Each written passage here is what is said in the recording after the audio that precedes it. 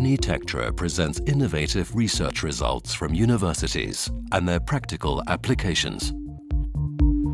One of the results comes out of the University of Bern.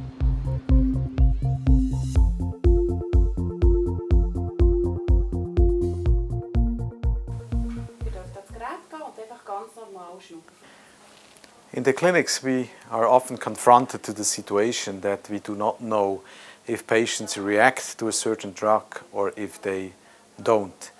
For instance, in lung fibrosis, it's difficult to know if the current drugs are working or not. In lung fibrosis, clinical data show that the fibrotic lesions are located at the periphery of the lung. And interestingly, the mechanical stress is the highest at the periphery of the lung. The device we invented is called a lung on a chip, is able to closely mimic the microenvironment found in this part of the lung, including the mechanical stress. With this device, we develop a lung fibrosis model to better predict the effect of respiratory drugs in patients.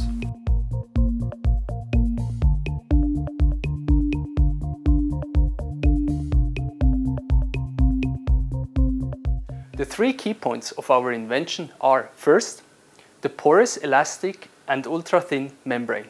On this membrane, we can culture human lung cells on either side.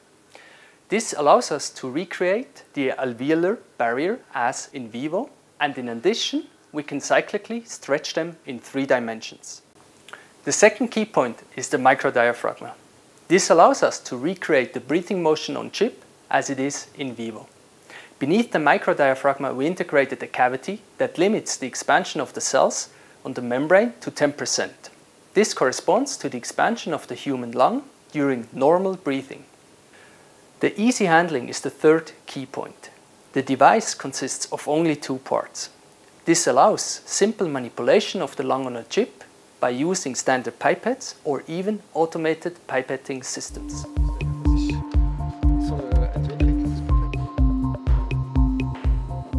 Unitectra helped us protect our invention and transfer it to the private sector. Alveolix was created to commercialize the lung on chip to improve the drug selection process in the drug discovery uh, process. Our aim is to develop further lung disease models to mimic specific aspects of the lung function and to correlate data obtained with the chip with clinical data. We also foresee that uh, the lung on chip technology will be used in uh, precision medicine applications. That means that we will uh, take biopsies and cells from patients with different lung diseases. We culture those cells on the chip and we are going to study different drugs on the chip.